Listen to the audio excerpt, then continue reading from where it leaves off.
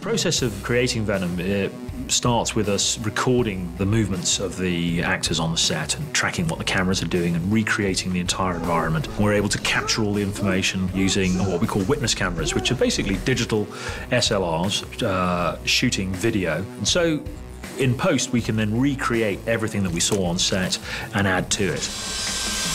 For instance, when Venom rises off the, street at the end of the bike chase, we need to take the actor and slide him up on this rig, which we call the Frankenstein rig. It's like a big metal arm that rises up and then pulls the performer up at the same time. So the head stays in the right place as he rises up and then Venom forms around him. So we have Tom, we laser scanned him down to sub-millimeter accuracy so that when the goo is flowing over his face, we can track it to all the planes of his face as it's also moving as well because we've captured all his different expressions.